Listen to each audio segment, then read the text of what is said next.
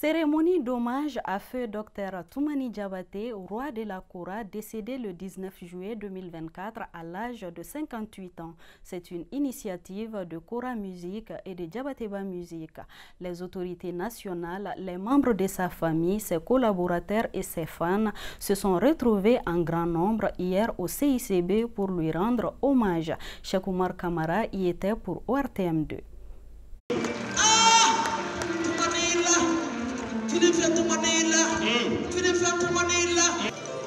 Une cérémonie pas comme les autres pour rendre un grand hommage au maestro de la Kora. Toumani Diabaté, artiste malien hors pair qui nous a quittés, aura été toute sa vie au combat pour rehausser la culture africaine et malienne en particulier et pour la paix et la cohésion sociale comme le stipulent traditionnellement les missions d'un C'est ce qui motive l'organisation d'une telle cérémonie de taille pour immortaliser l'illustre disparu. Ce qui m'a marqué, c'est la présence de tout ce beau monde à venir nous soutenir, et nous reconforter dans ces périodes assez difficiles.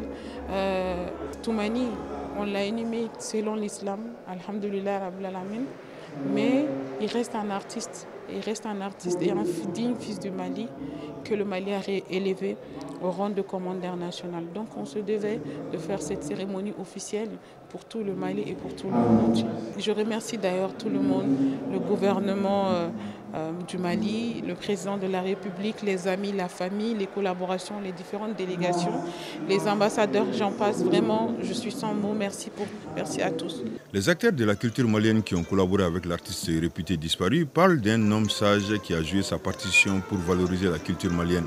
Toumani Diabaté avait été sélectionné pour participer à Kora Music Award afin de rehausser la musique malienne en décembre 2024 en Afrique du Sud.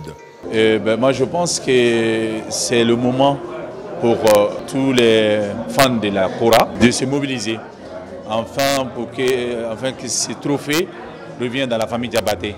C'est très important. Euh, vous savez, ce n'est pas la personne de Toumani, c'est ses œuvres. Meilleur album traditionnel, euh, donc Toumani fait partie, mais ses œuvres restent là. C'est pour cela qu'on dit un homme ne meurt jamais.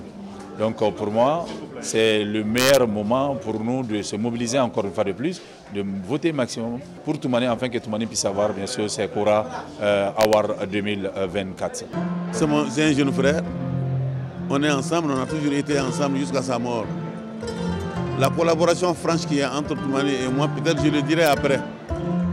Parce qu'on est à son septième jour. J'ai le cœur un peu serré et la langue un peu lourde pour parler de ma collaboration avec Toumani. Pour les membres de sa famille, c'était un rassembleur, un bon père, un bon frère qui avait l'esprit du partage, toujours jovial, bref, un grand homme. Toumani était généreux. Toumani était exceptionnel. C'est pas parce qu'aujourd'hui il n'est pas là et que je suis sa sœur. Non, non, non. Tout le monde te le dira depuis bien avant son décès, tous ceux qui venaient nous voir à l'hôpital ne parlaient que du bien de Toumani. Finalement, je me suis dit que si les gens commencent à dire le bien de Toumani de son vivant, ça veut dire qu'il est en train de partir. Et Toumani était une bonne personne, une personne exceptionnelle. Au dire des participants, cette cérémonie a tenu toutes ses promesses en rendant un grand hommage au Bobob qui s'est éteint comme pour dire qu'il est parti, mais il est parmi nous. Les activités ont pris fin par la fatia pour le bon repos de l'âme du disparu.